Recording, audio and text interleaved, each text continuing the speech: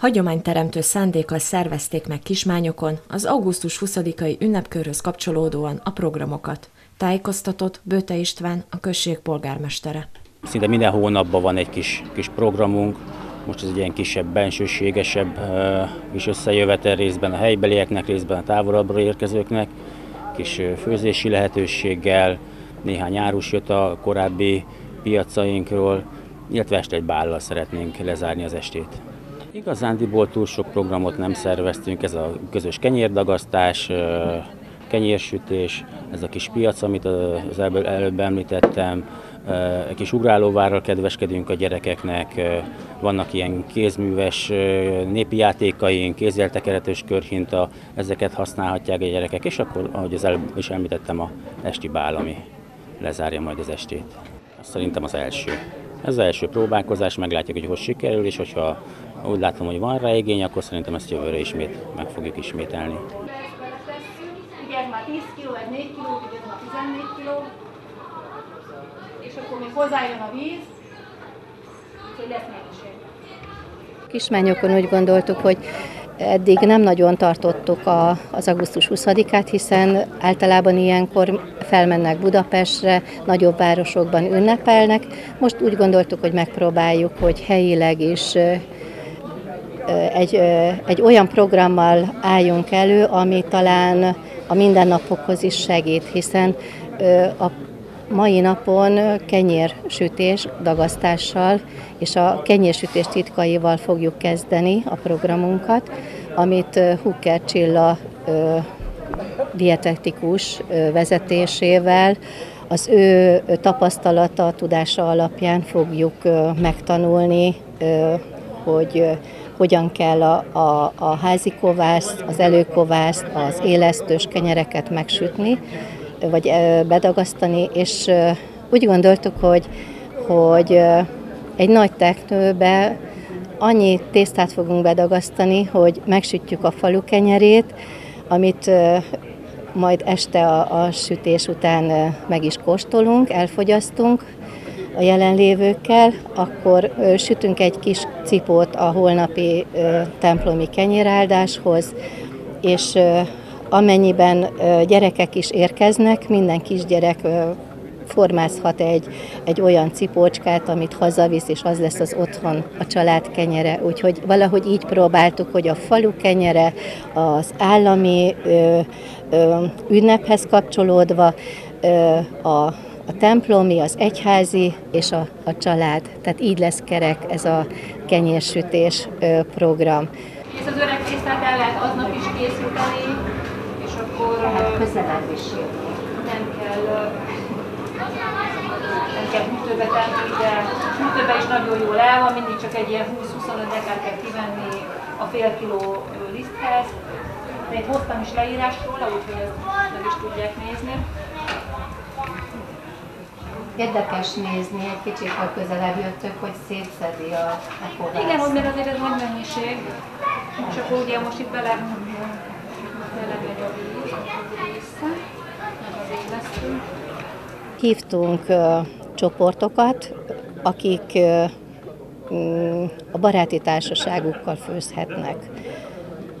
Meghirdettük, aki jelentkezett, az itt van, és már el is kezdte a főzést. Az önkormányzat felajánlott 3 kg húst minden csoportnak, és ezen kívül ők, hogy mivel bővítik, hogyan készítik, ez rájuk van szabva. Ebben az évben úgy gondoltuk, hogy még nem hirdetjük versenyre, de ha jövőre is lesz erre igény, akkor lehet, hogy jövőre már egy versenyt is fogunk ebből ö, kialakítani.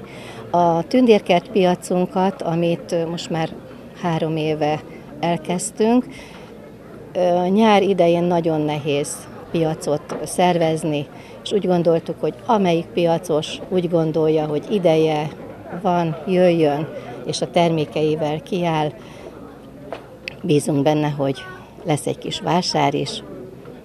Ezen kívül annyit szeretnék még mondani, hogy a, a Kismányoki Nyugdíjas Klub Egyesület is főz, akkor a, az önkormányzat is főz. A szokásos piaci kenyérlángosunk is sül, úgyhogy aki még most, aki még most látja meg a hirdetésünket és ide érkezik, és nem készül arra, hogy bográcsos ételt tegyen, az kenyérlángosból is fogyaszthat. Délutánra a kenyérdagasztás úgy is követi egy kenyérkelesztés, és abban a, a pihenő időben pedig a gyerekekkel készítünk pici zászlót, amit majd a cipóba fognak beletűzni. A délután 4-5 óra tájban izményi ritmus zenekar fog jönni, ők egy kis hangulatkeltésképpen fúvos zenekarral itt a hangulatot egy kicsit emelik, és Gondolom addigra már megfőnek a bográcsos ételek, mindenki elfogyasztja, és vacsorára pedig, vacsora után pedig a Sanzon zenekar fog egy nagyon szuper nyáresti bált nekünk lebonyolítani, amire már ugye a, a környező falvakból, településekből jelezték, hogy jönnének, mert végre jó, olyan az idő, hogy jó lesz kint tölteni az estét.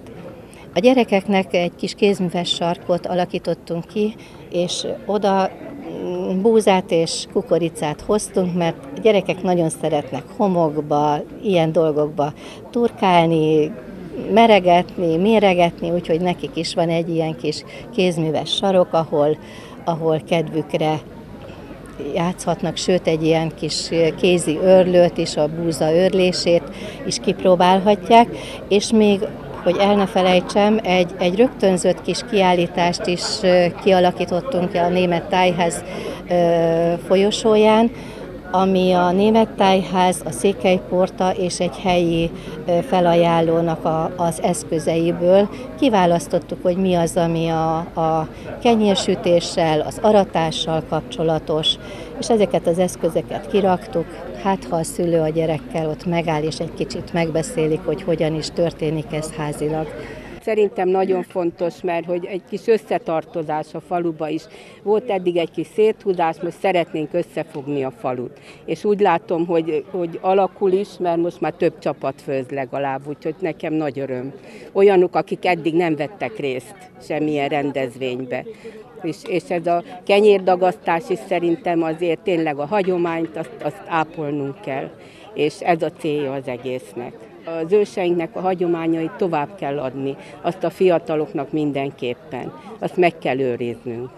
Mi a nyugdíjasok gulyást főzünk, mégpedig csipetkével, krumplival és csipetkével. És gondolom a csipetkét saját kezzel Igen, igen, most kezdtük el, igen, saját tojással, liszttel, és így készül.